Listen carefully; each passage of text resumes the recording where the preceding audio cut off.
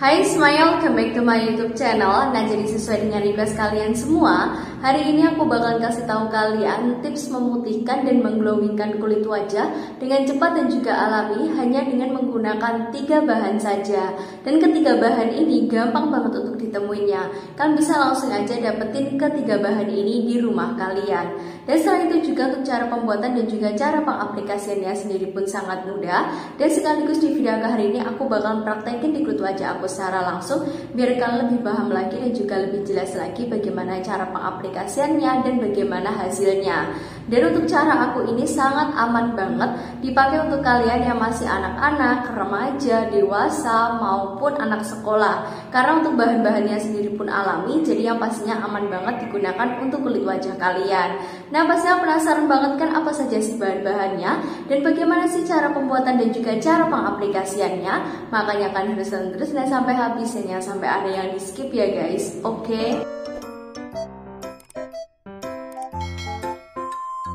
Oh ya guys, sebelum aku kasih tahu kalian untuk cara pembuatannya, langsung aja aku bakal tunjukin ke kalian untuk ketiga bahannya terlebih dahulu. Nah, untuk bahan yang pertama yang harus kalian siapkan adalah tepung beras.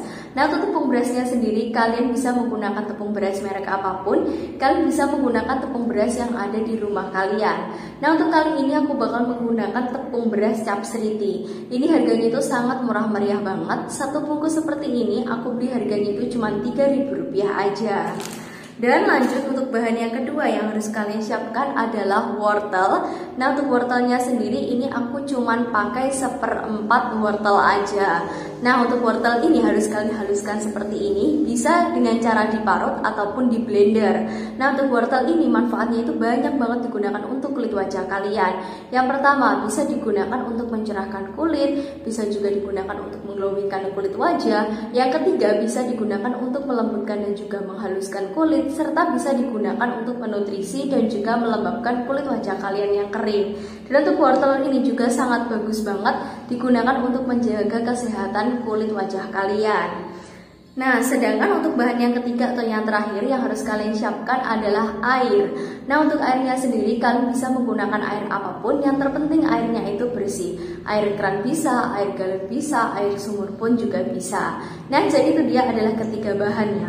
Sedangkan untuk alatnya yang harus kalian persiapkan adalah wadah dan juga sendok yang nantinya bakal kita gunakan untuk meracik maskernya. Nah, terus selanjutnya langsung aja aku bakal tunjukin ke kalian untuk cara pembuatannya. Nah, untuk cara pembuatannya sendiri pun sangat gampang dan juga simple banget. Jadi untuk yang pertama kita siapin terlebih dahulu wadahnya yang sudah berisi wortel yang sudah kita haluskan. Nah untuk wortelnya ini aku bakalan ambil kurang lebih sekitar 2 sendok teh. Nah, jika sudah, kemudian tinggal kita campurkan aja dengan tepung beras. Nah, untuk tepung berasnya ini takarannya juga sama, 2 sendok teh aja. Jadi perbandingannya itu 1 banding 1.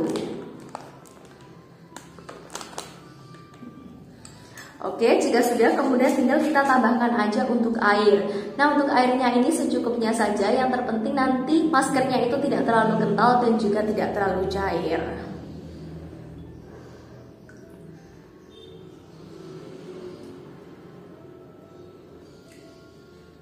Oke, jika sudah kemudian langsung aja kita aduk-aduk hingga ketiga bahan ini tercampur rata dan membentuk seperti pasta. Dan jika ketiga bahannya ini sudah tercampur rata, nanti hasilnya itu bakalan jadi seperti ini, akan membentuk seperti pasta. Dan jika sudah seperti ini, kemudian tinggal kita aplikasikan aja merata di seluruh kulit wajah kita. Benar-benar gampang banget kan?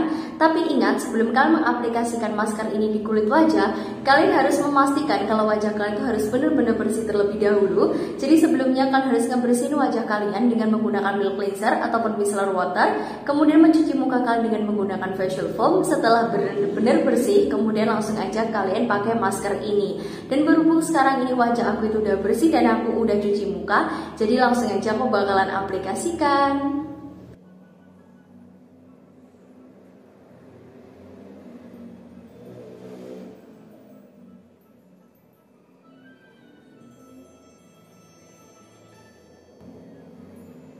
Nah, jadi ini dia udah selesai mengaplikasikan maskernya di seluruh kulit wajah aku. Dan jika sudah seperti ini, kemudian tinggal kita diamin aja kurang lebih sekitar 10-15 menitan gitu. Atau kita tunggu hingga masker itu kering dan langsung aja aku bakalan skip video ini biar kelamaan ya guys. Stay tune! Nah, jadi ini dia masker aku itu udah kering dan sekarang ini kulit wajah aku pun juga udah aku bilas dan langsung aja aku bakalan sedikit review. Nah, jadi setelah selesai aku menggunakan masker campuran alat-alat tepung beras dan juga wortel ini, yang paling aku rasakan sekarang ini wajah aku itu berasa seger banget, terlihat lebih cerah dan juga terlihat lebih glowing daripada sebelumnya. Ini bisa kalian lihat benar-benar glowing banget dan juga sekarang ini wajah aku itu berasa lebih kenyal dan juga terlihat lebih sehat. Dan yang paling aku suka lagi sekarang ini tekstur kulit wajah aku itu sangat lembut, halus dan juga berasa lembab banget. Itu beda banget dengan kulit wajah aku sebelum aku menggunakan masker ini. Sebelum aku menggunakan masker ini, wajah aku itu terlihat kusam, terlihat gelap. Selain itu juga tekstur kulit wajah aku jika dipegang itu berasa kasar dan juga kering banget. Tapi sekarang ini wajah aku benar-benar bagus banget hasilnya. Nah, jadi untuk kesimpulannya, untuk masker campuran antara tepung beras dan juga wortel ini, hasilnya memang sangat bagus digunakan untuk mencerahkan dan juga mengglowingkan kulit wajah. Jadi kalian wajib banget untuk cobain dan praktekin ini di rumah. Apalagi jika kalian rutin dan juga telaten dalam menggunakannya, masker ini bisa digunakan untuk memutihkan kulit wajah kalian. Dan karena masker ini terbuat dari bahan-bahan yang alami, jadi masker ini tidak bisa memberikan hasil yang instan. Kalian harus rutin dan juga telaten dalam menggunakannya. Dalam satu minggu kalian bisa menggunakan masker ini 2-3 kali aja. Bener-bener simple banget kan? Apalagi yang paling aku suka lagi saat mencuci wajah itu bisa sekalian men-scrub kulit gitu sehingga sangat bagus dan ngebantu aku banget dalam mengangkat sel-sel kulit mati sehingga setelah kalian menggunakan masker ini wajah kalian tuh akan berasa halus dan juga lembut banget. Nah jadi sekian video ke hari ini semoga video kalian bisa bermanfaat dan juga bisa berguna untuk kalian semua dan jangan suka dengan video ini jangan lupa like dan untuk kasih video selanjutnya bisa langsung aja komen di bawah dan jangan lupa juga share ke teman-teman kalian yang sebanyak-banyaknya dan jangan lupa juga subscribe channel aku ini ya guys Tunggu video selanjutnya. Thank you for watching. Bye-bye.